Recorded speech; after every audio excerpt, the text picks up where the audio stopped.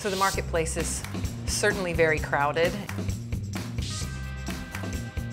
And differentiation is tough, but I think it gets easier when you get really honest about what unique thing your brand or business has that it actually can own that the consumers will believe it can own? I'd say, you know, our differentiating factor, and I say this all the time, is really the people that I work with. I mean, you know, you can't teach hospitality, and if our managers are gracious, I mean, that's, you can go, there's millions of bars and restaurants all over the world, so we have to figure out why are they going to come to us to drink that basically same product, and really it comes down to the hospitality part of it.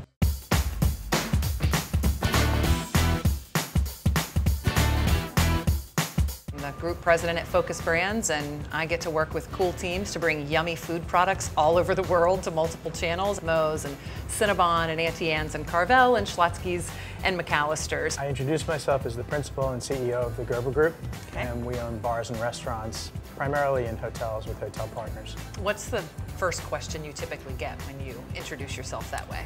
Typically, how did you get into this business? Hmm.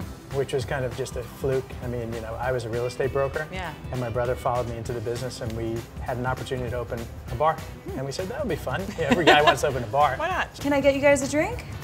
Sure, I would love a vodka tonic. Okay.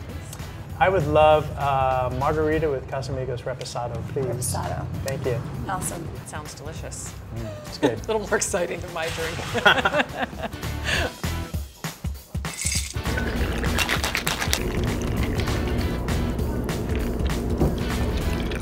We've been fortunate enough where I have, you know, barbacks and bussers that have been with us for 25 years, wow. whose kids are now working with us. Oh, that's so cool. And, and, I think a lot of that comes from my father. He could have a conversation with the chairman of one of our hotel companies, as well as the barback and busser, and everybody to him was as important as the next person. It didn't matter who you were, what your position was, how much money you had, but that compassion, I think, really builds like that family environment when you have a company like ours.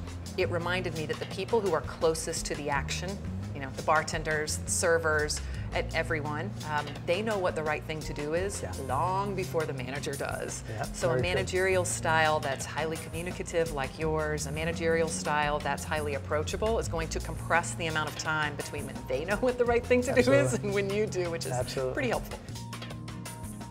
Hey YouTube fans, I'm Landon Dowdy from CNBC. Thanks so much for checking out our channel. Here you'll find videos packed with all the info that you need to be smarter about your finances. Be sure and subscribe by clicking right here and click on all the videos around me to see CNBC's original series Young Money, Tech Bet, Cramer's Mad Money, and all the latest from CNBC.